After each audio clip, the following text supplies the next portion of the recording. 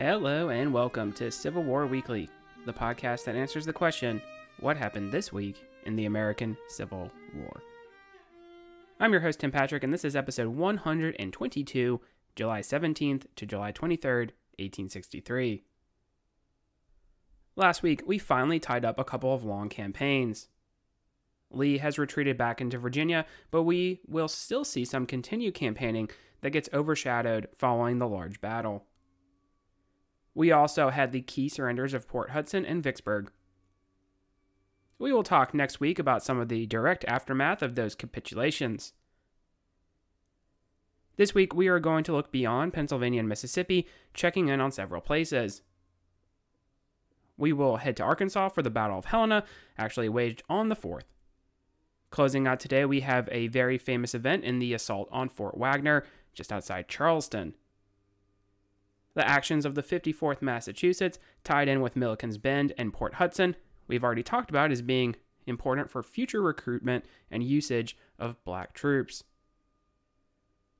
Before we get into that, though, we have had another couple of events that are important for their usage of the Indian Home Guard regiments, as well as also the advancement of colored regiments. We need to go to Oklahoma for Cabin Creek and Honey Spring. Before we do that, though, we do need to talk a little bit about Patreon content. Of course, we have the movie review for Gettysburg posted, and that goes very well with our episodes from the beginning of the month here, of course. And we're going through a string of movies probably here. We got to do uh, Glory, also another classic Civil War movie. So we got to talk about that, especially in connection with Fort Wagner. That's probably going to be next month's Patreon episode. Might release that a little bit early, but then we were going to have to have a quick turnaround and we're probably going to do Ride with the Devil, and that's going to be in connection with Lawrence, Kansas, which is right around the corner here as well. So we got a little string of pretty heavy hitters in terms of movies. So if that sounds like something that would interest you, kind of going through a synopsis and having thoughts on the historical accuracy of the movies, then we do have a link to the Patreon in the show description. Of course, those proceeds do go toward the general upkeep of the show.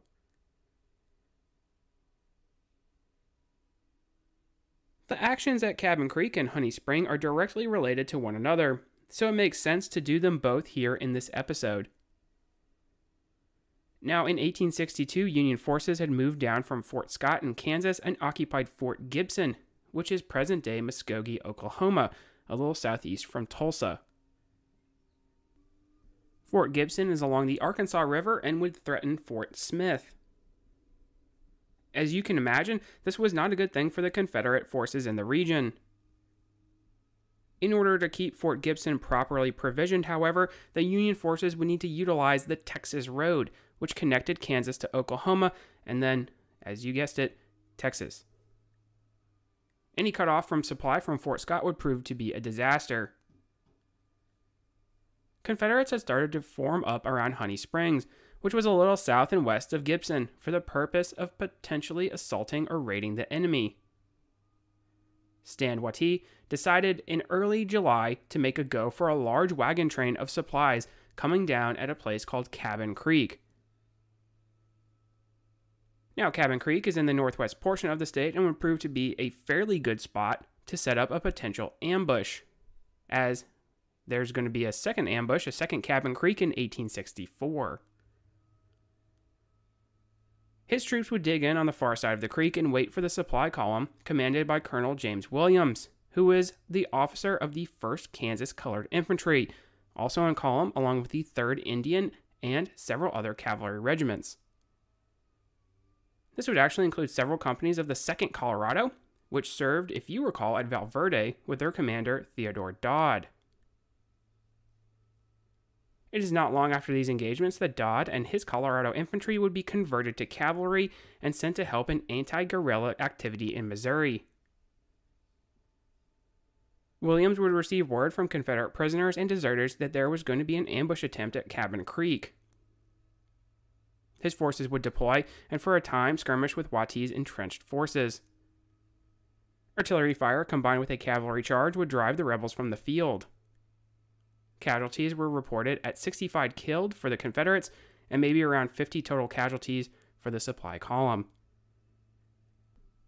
When we mention the importance of the deserters warning Williams, I think it's important to have sort of the comparison to maybe World War I operations in Africa, where there's a lot of shifting sides, especially among native troops. And it's obviously you're going to have these intelligence issues if, if folks are changing sides pretty frequently, then it's going to be a problem. So that's why, even though Cabin Creek is a great spot for an ambush, and the 1864 raid we'll talk about was more successful, it's going to be also difficult to actually spring an ambush if you have some squeaky wheels there. Despite Williams successfully getting to Fort Gibson, it was planned by the remaining Confederates to strike at the fort. Douglas Cooper was gathering the necessary troops for such a feat. Three Texas cavalry regiments would combine with the 1st and 2nd Cherokee, 1st and 2nd Creek, and 1st Chickasaw Choctaw. William Cabell would be on his way with an additional 3,000 men from Fort Smith.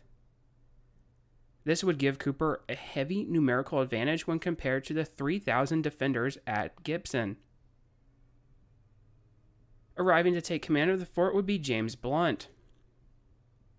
Now, Blunt would receive intelligence that Cabell was on his way, which would be an issue. We are already aware of Blunt's aggressive nature, so it would not be a surprise that he is going to move out against the Confederates at Honey Springs with two brigades, all mixed of Indian Home Guards, Wisconsin and Kansas Cavalry, and the 1st Kansas Colored Infantry, as well as Dodds Coloradians. In addition, he would have several Napoleons and was armed with the fresh supplies that had made it from Fort Scott. His men would move across the Arkansas on flatboats on the 16th.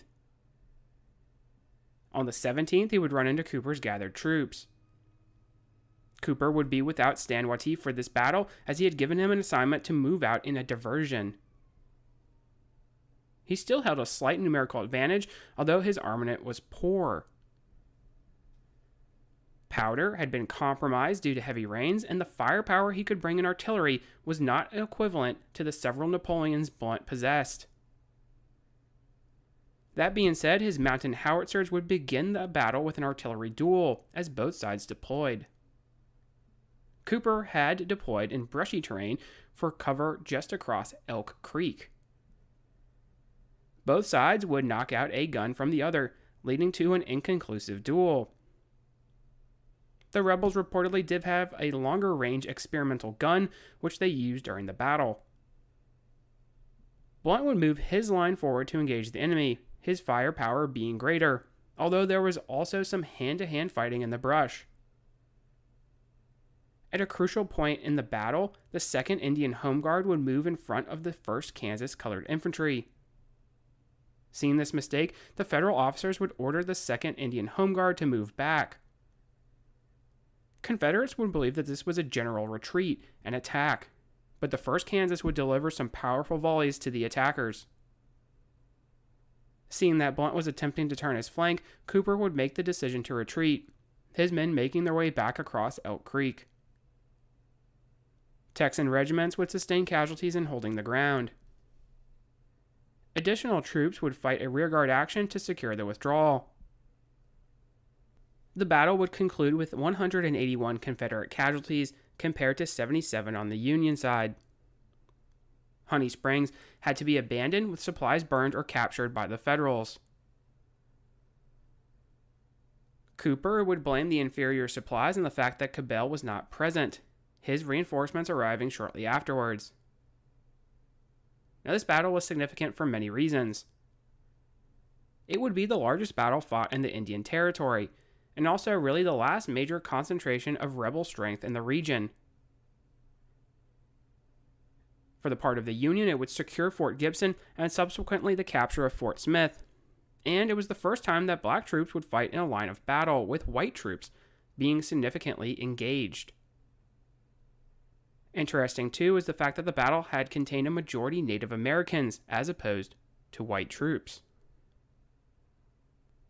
We talked a while back about the three cornered war, I guess you could say. So there is very much an interesting mix of troop dispositions in this battle, and it's probably something that a lot of folks hadn't really thought about just how diverse the, the war is in this particular region. On July 4th, we have an engagement at Helena, Arkansas. Amazingly, this is going to be the major attempt by Theophilus Holmes not only to take the river town, but also to relieve the pressure building up on Vicksburg. Unfortunately, it's going to be too late as the attack will occur the same day as the surrender by Pemberton. Holmes would meet with Sterling Price and John Marmaduke on June 18th. He would combine their forces as well as a brigade under John Fagan, arriving from Little Rock, and hopefully would assault Helena. Holmes had been reluctant to pull off a major move like this because he feared failure. We mentioned how in this particular region there's not a whole lot of cooperation between the different regional commanders, different department commanders. Holmes is definitely going to fall into the category not only of being cautious, even with a potentially good target like Helena, but he's also going to not necessarily play well with others. And you could say it's also an administrative failure on the part of the Confederacy to really be able to have a system where these are cooperating, acting in concert, but Holmes is not going to do anyone any favors. You remember all the way back in Prairie Grove how he doesn't want Thomas Hindman to really take the offensive. There is some hesitation there. It might have been better for Hindman if he had taken the advantage while he could, that would have probably been better for the Confederacy in terms of an offensive. And so we see this kind of cautious behavior rearing its head once again, even in a dire situation where Vicksburg needs to be relieved. There needs to be some kind of release of pressure. Now, Samuel Curtis had taken the city in 1862, and not only was it a supply station along the Mississippi, but could also be used as a jump off point to move further into Arkansas, threatening Little Rock, which is exactly what's going to happen. So there is a self preservation element to be had from Holmes and his department. All in all, they could put together some 7,500 men to face off against 4,100 defenders commanded by Benjamin Prentiss, but also mostly led in the field by Frederick Salomon. Prentiss would draw on his Shiloh experience. If you recall, he was one of the major figures of the battle. There were rumors of a Confederate attack, so they would be ready. As far as defense, a work had been constructed named Fort Curtis, but Crowley Ridge outside of town commanded the positions. Batteries A through D would be constructed on this high ground. C and D to the south on Graveyard Hill, and Hindman Hill protecting the western and southern approach. Hindman Hill was named as such because this is where Thomas Hindman lived. A and B would be further to the north, with A being on Ryder Hill. Additional support could be provided by the Navy, as has been the course of action for many of these engagements along the river. Fourth of July festivities were canceled because of the rebel threat, which could have been a disaster. But disaster would partly be avoided because of the weather. Rains had made several of the roads turn into mud, making the movement to Helena a tiring process for almost all the rebels, except Fagan's brigade, which traveled mostly via steamboat. Holmes would be concerned about the success of the operation on arrival. They no longer held the advantage of surprise, and the defenses were formidable. The key to the defense around Helena, though, was the high ground, which, if taken, could be used to render the defense. So, with that being the primary objective, and of course the numerical advantage being held, the attack would go forward as planned. Early in the morning on the 4th, Colonel William Brooks would lead a contingent from his 34th Arkansas in a probe to the south. There, they would run into Union pickets, opening the battle. In the north, John Marmaduke would dismount his troopers with the objective of taking Ryder's Hill. With that high ground secured, rebel artillery could neutralize Battery B. His flank was to be protected by Lucius Marsh Walker and his cavalry. Walker would run into heavier resistance than was expected, though, in the form of the 5th Kansas and 1st Indiana Cavalry, so he would not be able to support Shelby and Colton Greene, whose brigades ran into the 29th Iowa. Facing this stiff resistance without support, the cavalry under Marmaduke would not be able to accomplish their objective in taking the hill. Marmaduke would be angry with Walker because he was under the impression he only saw light resistance. This anger would not only lead to Marmaduke intentionally not informing Walker of the retreat at the conclusion of the battle, but it would also lead to a duel between the two officers in September, mortally wounding Walker. There definitely should have been some HR mediation there, but perhaps they did not have HR on hand. Meanwhile, Fagan's brigade would begin their attacks on Hindman Hill and Battery D. They would see some success in pushing back the Union forces, but they were also advancing unsupported. The rough terrain would lead Price to be bogged down, so he would not step off until later. The Union troops had felled trees and constructed abatis to great effect. In addition, their artillery was able to sweep the avenues of approach, inflicting heavy casualties on the rebels. When Price does begin his portion of the attack, he would see some success from his two brigades under McRae and Parsons. They would be able to take Battery C on Graveyard Hill.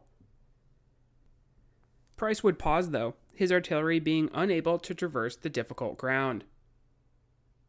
Some crews had been able to move forward with the infantry to work the captured Northern guns, but the Federals had done a good job in spiking any artillery they did not remove. Holmes would actually then order forward the 7th Missouri to take Fort Curtis beyond.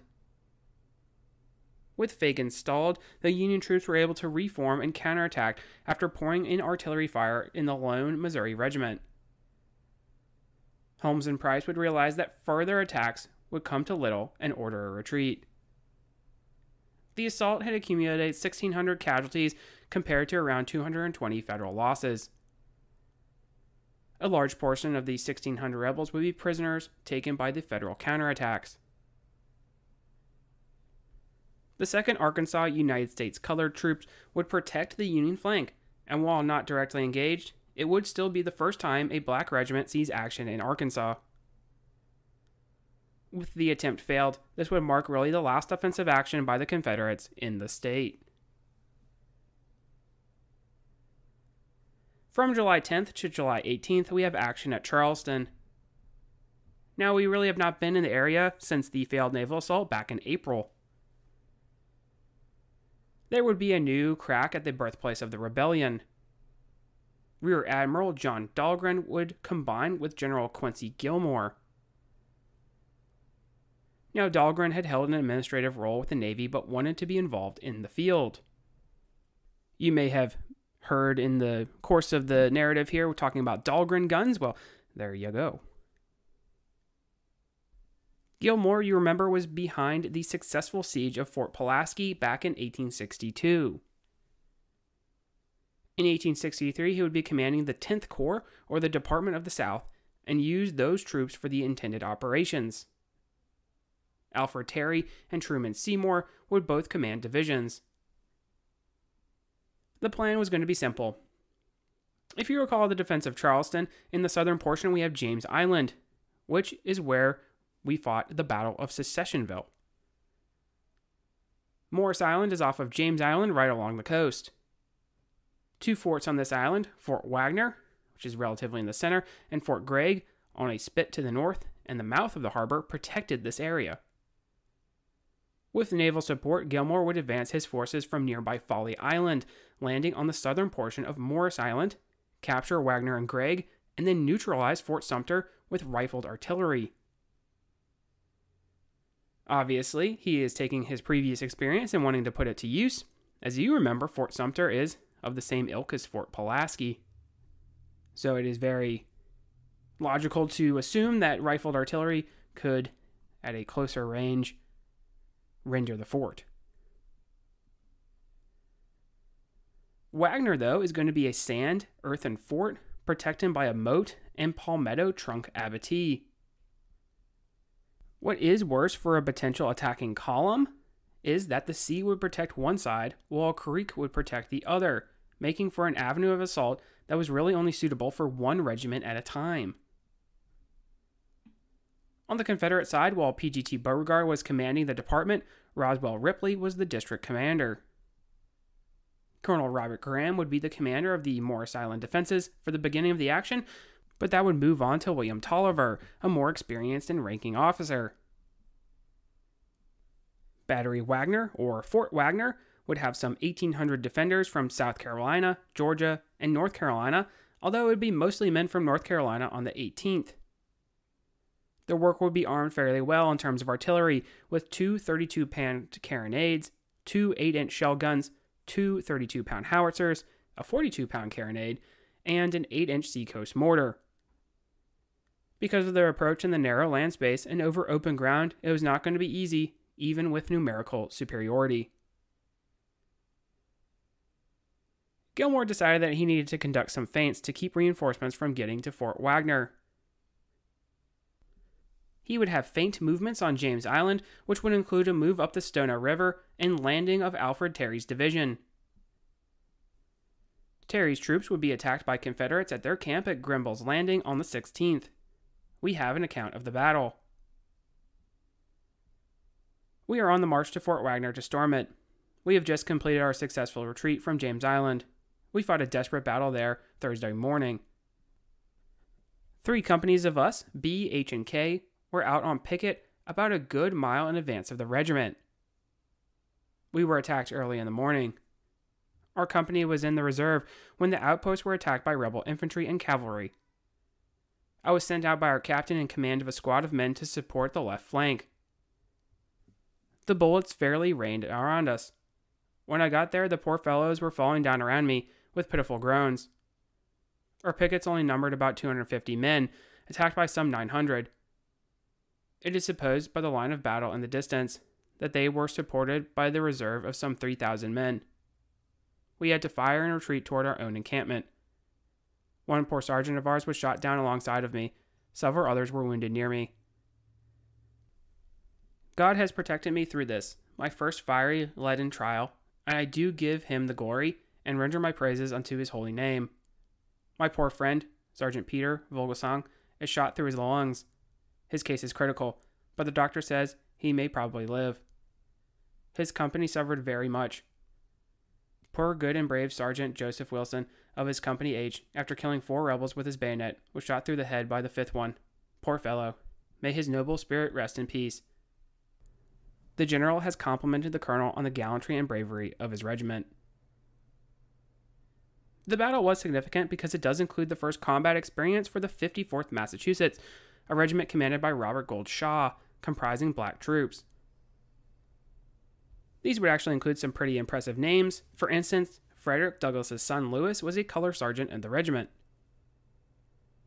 Because this is one of the first black regiments for the Union, there were many recruits not from the state of Massachusetts, but soldiers comprising from all over the North.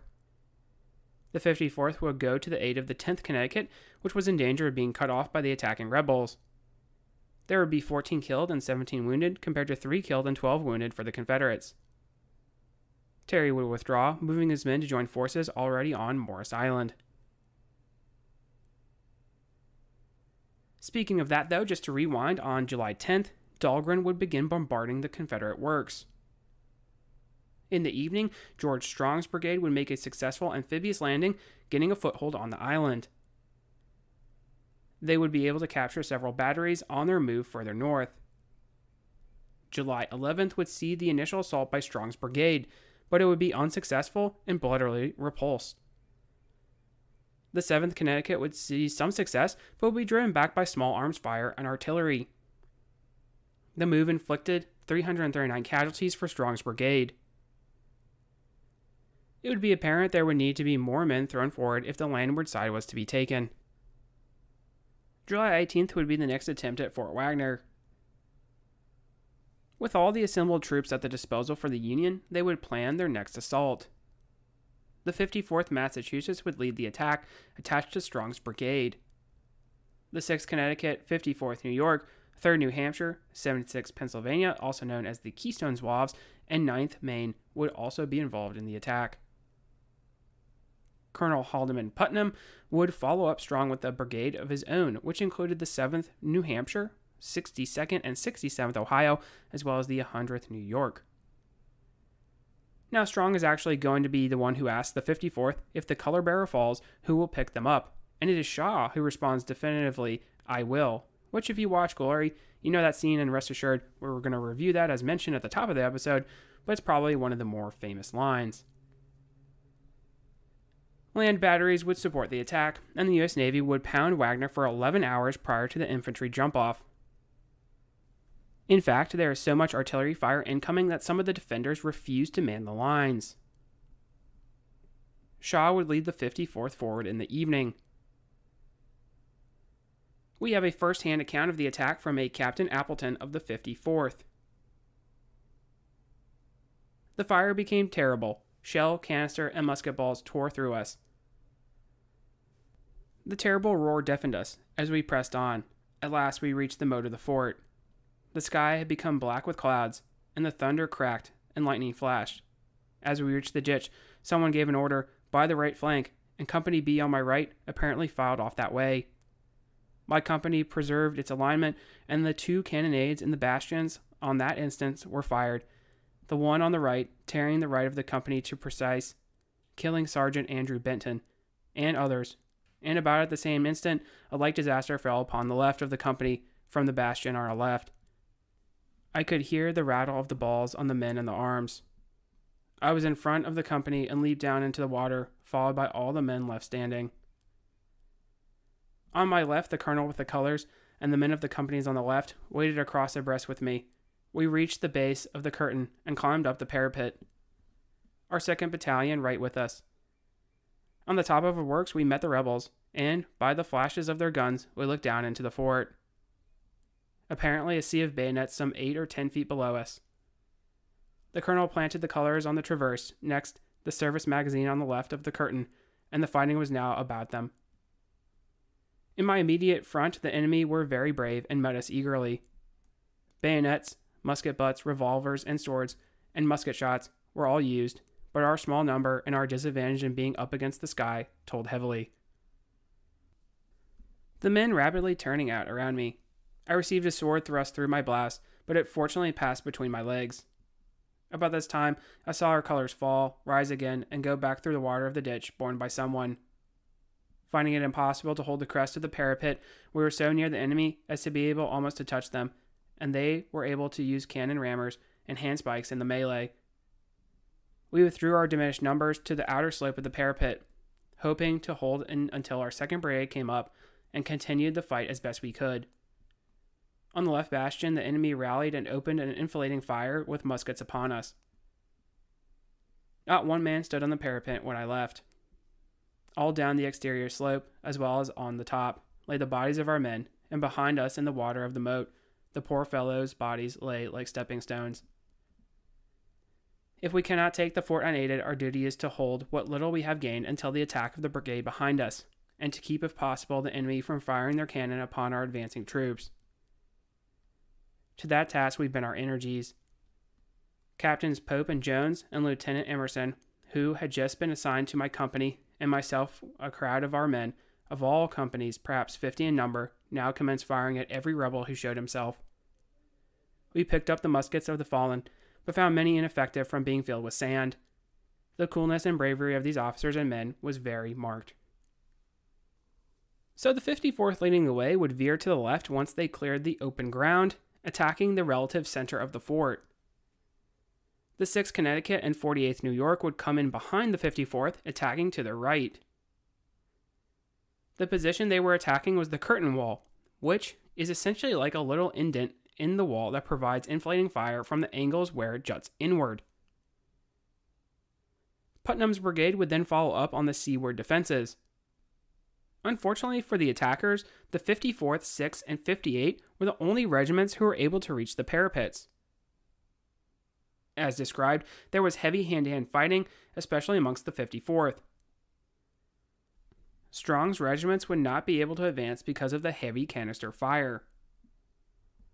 Putnam's brigade would likewise only see a portion of the two Ohio regiments reach the work. The 32nd Georgia would arrive and push out the attackers. The 54th would stay as long as they could, providing covering fire for the retreating Yankees. Shaw had been killed, as had Colonel Lyman Chatfield of the 6th Connecticut. Strong would be mortally wounded by a grape shot round in the thigh, and Putnam had likewise been killed, ordering the withdrawal. Overall, it was a bloody attempt by the 10th Corps, resulting in 1,500 casualties as opposed to 174 from the southern side. Sergeant William Harvey Carney of the 54th would receive the Medal of Honor for saving the colors. His regiment had paid a high price, suffering some 40% casualties. Lewis Douglass would write about how his proud regiment was now torn to pieces. This would conclude the ground attempts on Fort Wagner. In September of 1863, the work would be abandoned, followed 160 days of shelling, but Charleston is not going to fall until 1865. Rest assured, we'll get there soon enough. Let's go ahead and pause right there. This week was pretty eventful. We had the Battle of Helena in Arkansas.